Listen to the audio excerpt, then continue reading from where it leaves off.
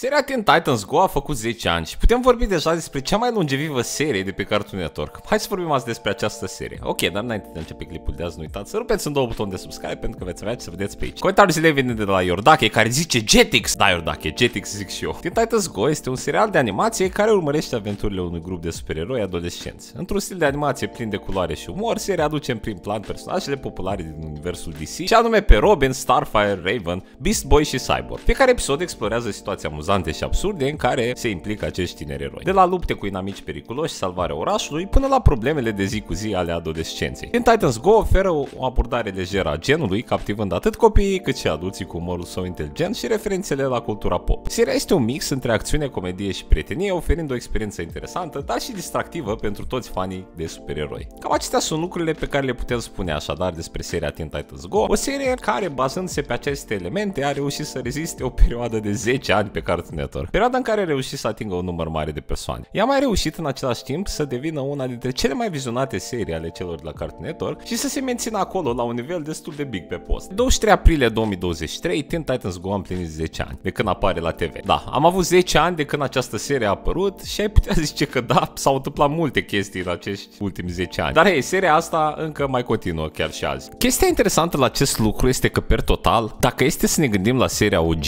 Teen Titans a reușit practic să fie de 3 ori mai lungă decât seria originală. Ceea ce e cam sed așa, n-am să vă mint. Seria originală Teen Titans a fost ceva special pentru toți fanii genului acestuia cu supereroi. Ideea este că această serie OG era adresată unui public mai matur și de aici plăcerea cu care mulți am urmărit-o așa de-a lungul timpului. Serialul aborda teme complexe precum identitatea, responsabilitatea și dezvoltarea personală, oferind o perspectivă autentică asupra vieții adolescenților cu putere. Prin interacțiunile lor, Teen Titans au demonstrat faptul că în ciuda diferențelor și provocărilor, prietenia și unitatea pot învinge orice obstacol. Serialul Teen Titans a captivat publicul de toate vârstele cu personajele sale îndrăgite și poveștile captivante, precum și cu animația impresionantă, transformându-se într-o emblemă așa a seriilor care au difuzat pe postul celor la Cartoon Network. Seria Teen Titans s-a terminat în 2006, însă având doar 5 sezoane. Chestia mai tristă la această serie este că ea ne-a lăsat așa și cu un cliffhanger, adică nu a avut finalul pe care mulți dintre noi ni-l doream să-l vedem. Ea a avut în schimb continuarea cu Teen Titans Go, dar mă rog, o continuare care a fost cu mult diferită față de această serie. Deși nu putem spune că acest lucru este 100%